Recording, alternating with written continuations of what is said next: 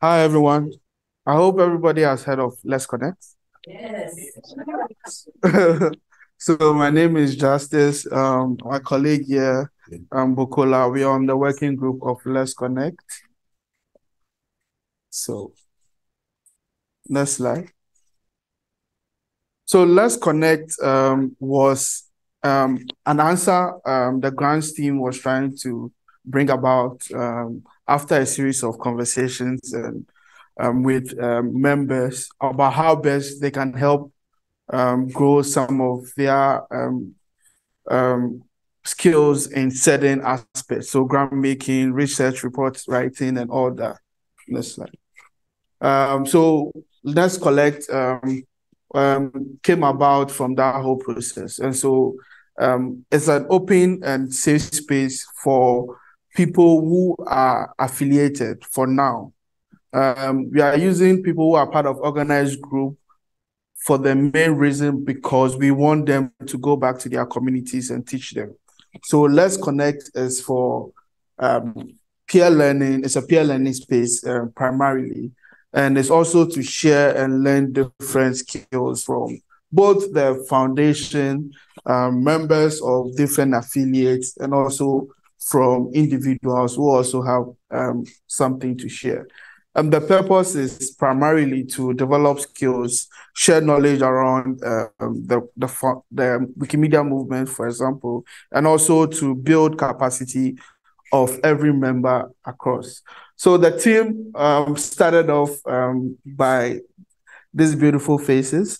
Um, is it's gone through a few iterations. So now currently we are about 12 members on the working group. Um, it's a foundation and community-led team. So majority of the the activities are planned by the team. Next slide. Um, so how does Let's Connect work? We work um, on learning clinics, also one-on-one connections. So during the first phase, I think we are currently in the third phase of Let's Connect. During the first phase, we try to see how we can use skills directory to create one-on-one connections between participants of Let's Connect. So if you see a skill that you have, we try and match you to maybe a, a sharer who also has similar skills and you want to learn that kind of skills with them. That whole process was part of the learnings in the in the first phase of Let's Connect. We have um, learning clinics almost every other week. Yeah, uh, um, it, it's two hours per each workshops.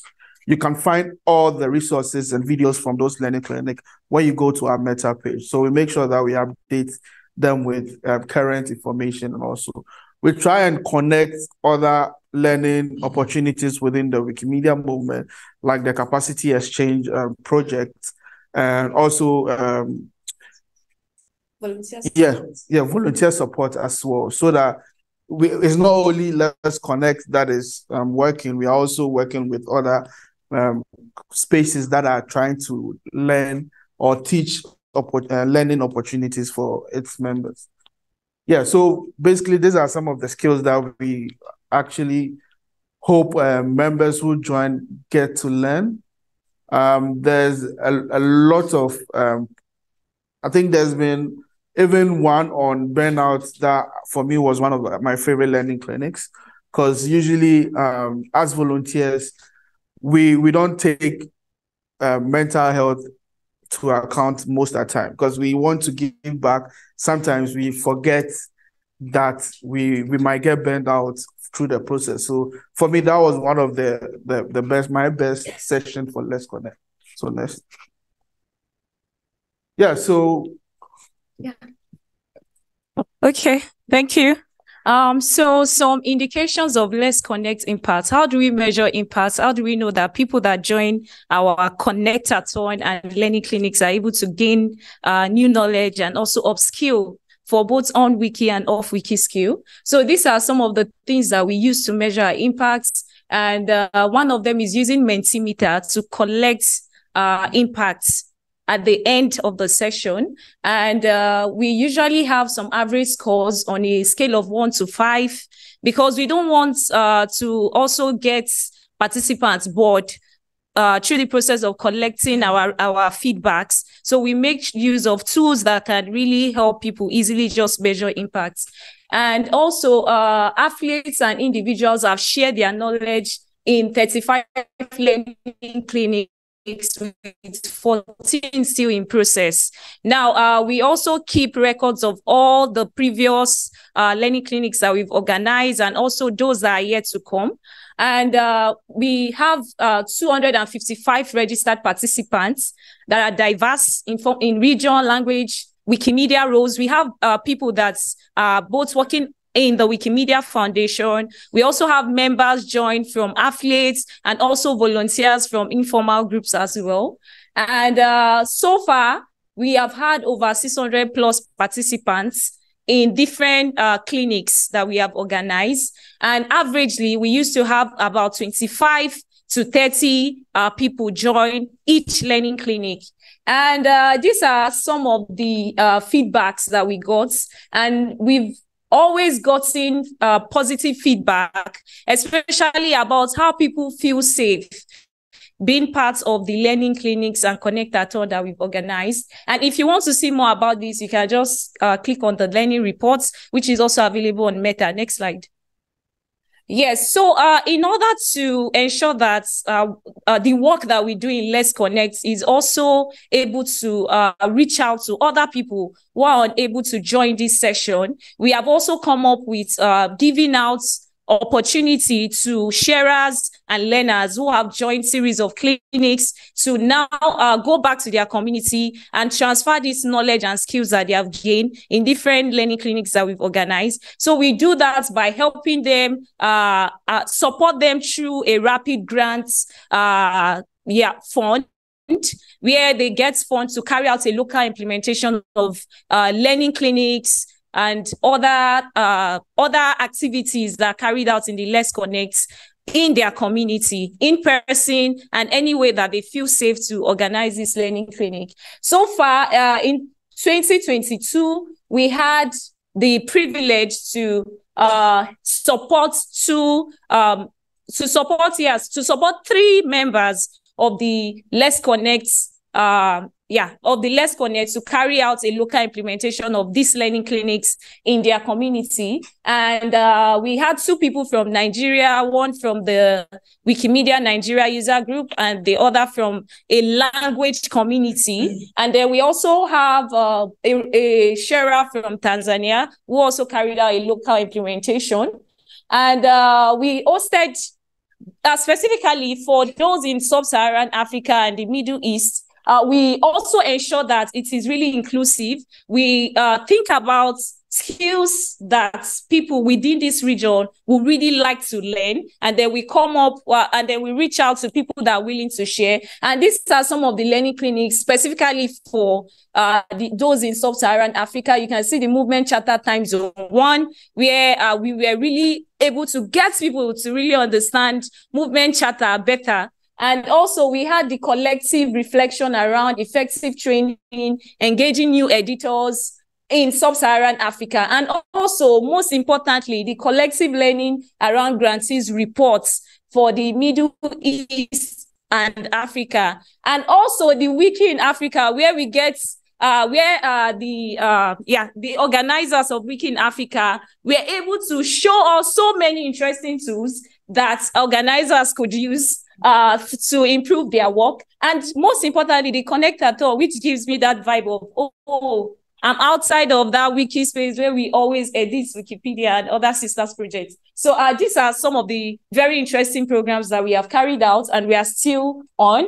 And uh, so far, we are also thinking about other ways to improve uh, what we do as part of the Let's Connect uh, clinics and program. And we really want you to help us think about this. How do we contextualize learning spaces so they are relevant to African communities?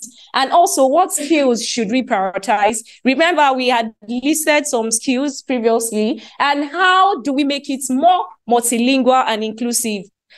Yeah, so these questions are now open for you to help us respond. Thank you. And also, if And also we have uh, this code, you can scan it and it takes you directly to our meta page. We have every resources there, but then you can always reach out to me or Justice for any other supports that you'll be needing. Thank you. Yeah, so question. Yes. Can you go back to the other slide? Just it's just short question. Yes, the other slide. Yeah. This one. Yes. So we'd like to get your feedback on these questions. Learn to learn, learn. Yes, yes. Your thoughts around the reflections. Alors, merci beaucoup pour votre présentation. Moi, j'ai beaucoup aimé ce programme de Let's Connect. J'ai non seulement participé à plusieurs fois, je suis abonné au travail et j'ai même intervenu une fois aux côtés d'autres personnalités qui ont beaucoup d'expérience sur Wikipédia, qui avaient plus de 14 ans sur Wikipédia et moi qui étais là que 6 ans. Donc, on a pu interagir et montrer un peu ce que je fais et ce que eux, ils arrivent à faire pour l'Afrique. Donc, c'est un programme que je recommande à d'autres personnes aussi qui ne sont pas déjà inscrits. Voilà tout ce que je voulais dire. Thanks for the feedback. yeah, Laurence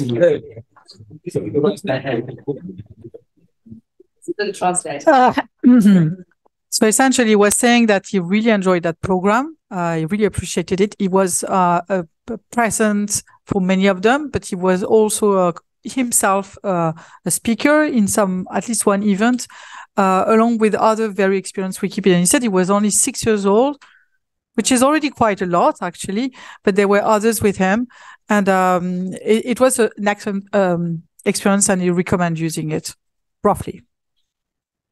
He didn't suggest, from my memory, any special uh, things that we could. I just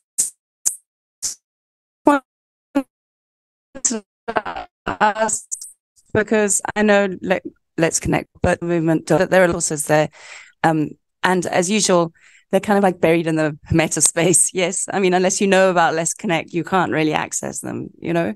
And I wonder if there's a way that we can finesse some of the more kind of like um, beginner ready stuff that can be put maybe on some of the like the the tea rooms or whatever if you want to go beyond editing into the wikimedia space start here kind of thing.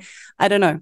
So just just an idea of like you know how do we get people how do you funnel that funnel that's you know the huge funnel that asaf talks about? But how do we how do we do that for people who start editing and and how yeah where do you put them uh, so that they can be so i think the the good thing about it also there's all the videos from all the sessions on youtube. So it makes it easy for people who want to also understand some of the learnings to watch the videos because they are very practical as well. Yeah. Okay. Yeah. Um, maybe. Yeah, yeah. So, so just to sorry to cut in, just to add to that point of having the videos on YouTube. So what we do once uh before you join Let's Connect, we always advise that you register. So once you register, we have this uh, very detailed form that uh indicates help you specify what skills you want to get and uh, what other skills uh, that you have previously. So it's more like we have this need assessment form that help us collect specific details about what you want to learn. So uh, once we know that, oh, you are uh, maybe someone that is more experienced, then uh, I think Justice also sends out uh, mails to people that are connecting to the community. Yeah. So sending out mails, we also like put links to all those resources. Yeah. yeah. Okay. Yeah. That's yeah. Yeah. That's yeah. Thank you. Thank you.